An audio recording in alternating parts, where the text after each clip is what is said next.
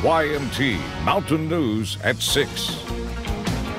Tonight, new developments in the investigation at a Letcher County business. Someone smashed the front door of Summit City yesterday morning in Whitesburg. Here's a look at the damage.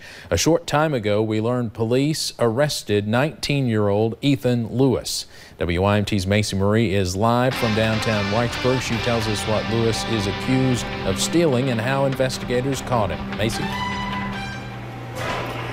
Steve, I'm way in the back of Summit City. This is the back door all boarded up now. And usually what it leads to is the back porch. Where on a nice day like today, people are out enjoying some food and drinks with their friends. But early Thursday morning, this door, well, it's all boarded up because someone was not using it to get to the back porch. Instead, employees say a man took a cinder block threw it through the glass, smashing it all over. And police say that man was Ethan Lewis. Police say after Ethan Lewis crawled through the bottom part of the door here, he then stole some liquor and a good chunk of cash. Employees didn't say exactly how much cash that was because that amount is how much they used to open and close the store each day. They didn't want to make that public information, but they did say it's enough to hurt the business. And when something like this happens, employees say it doesn't just hurt the business, it hurts the way people view the entire community. When you do something like that, you're you're not gaining anything from it because you're making your the place where you live worse. Like you're taking money out of the pockets of people who are trying to make this a better town.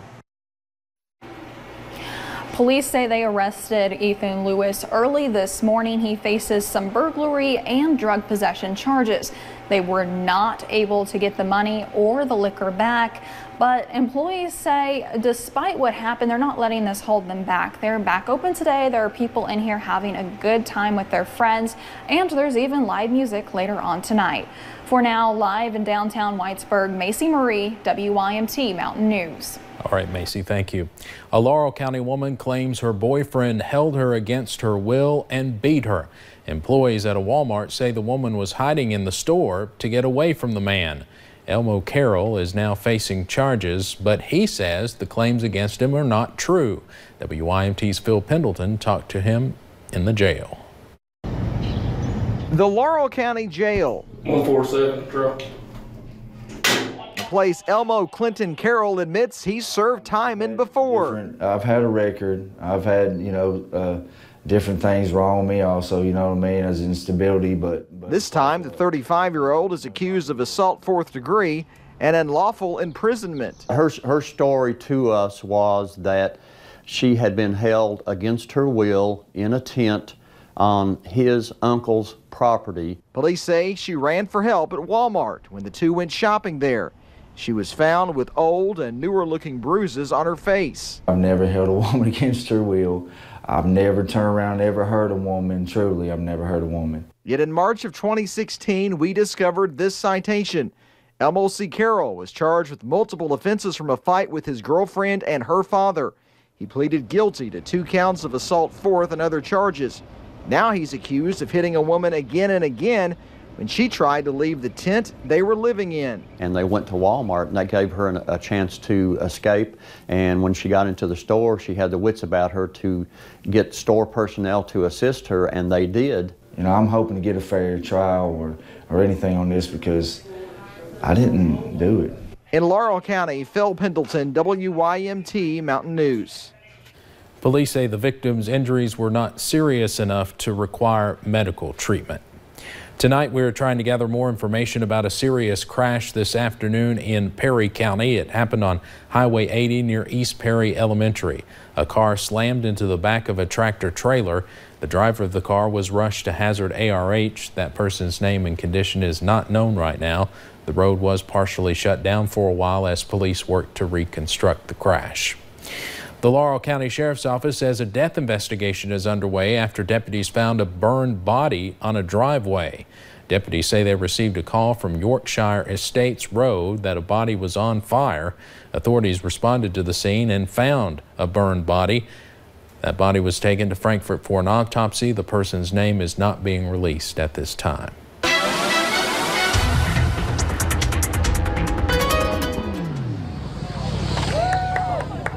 It's a beautiful evening here at the Perry County Park where we actually have a bike show going on behind us. This night's just full fun things here in the mountains. Let's go ahead and take you to US 119, US 23 over into Jenkins where we are seeing plenty of sunshine. We've seen that really throughout the day. Temperatures in the mid to upper 70s, feeling pretty great out there. It's definitely a very, very pleasant evening. Wind speeds, they're starting to move out the southwest, so it's going to start to bring in that warmer air, especially as we head into the weekend. Satellite and radar, you'll notice as we take a look at that, we are just seeing a clean sweep there. Forecast for tonight into the upper 50s, clear night ahead. Going to be pretty comfortable as we head into the overnight hours, even warmer as we head into the weekend. I'll have a look at that full forecast coming up in just a few short minutes.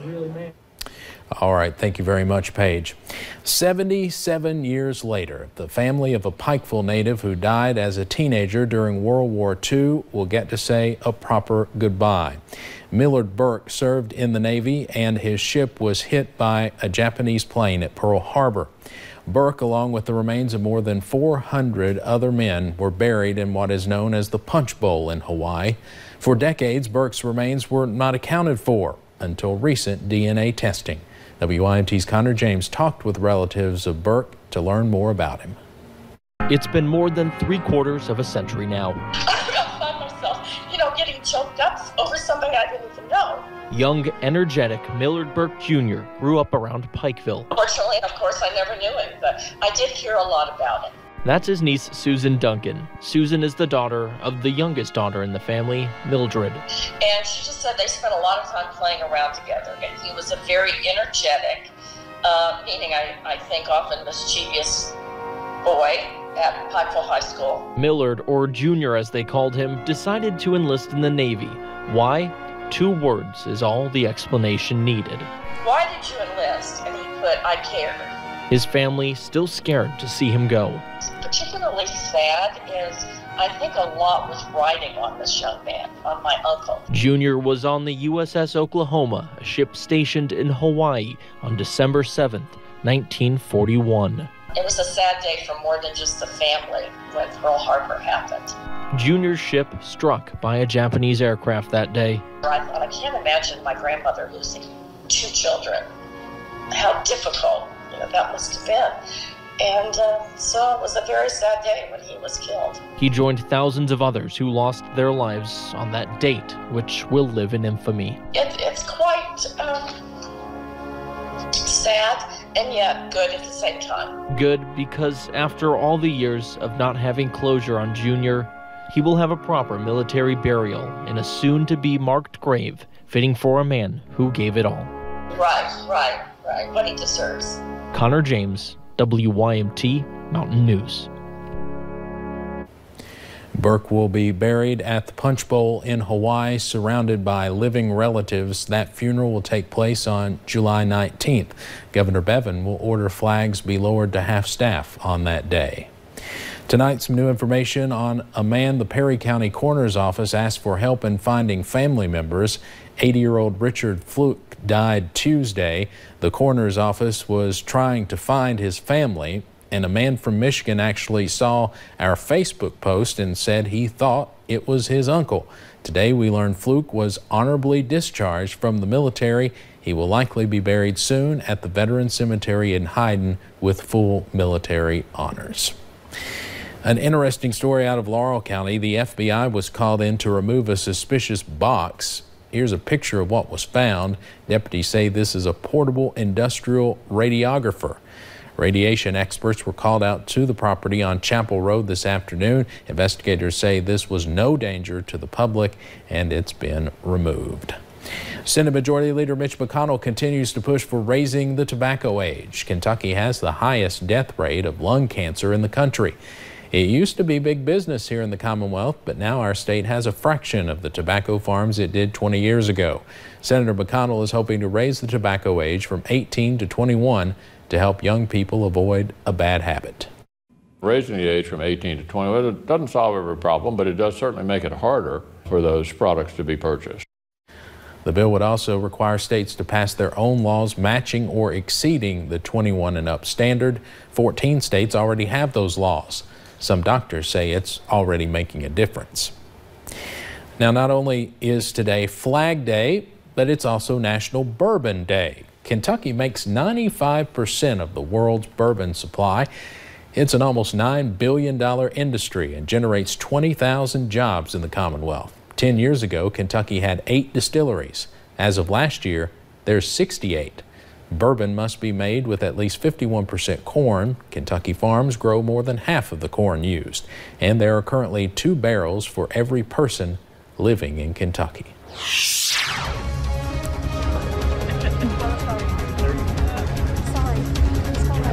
Well, it's a beautiful day here in the mountains. Does that continue as we head into your Father's Day weekend? I'll have a look at that full forecast coming up in just a few short minutes.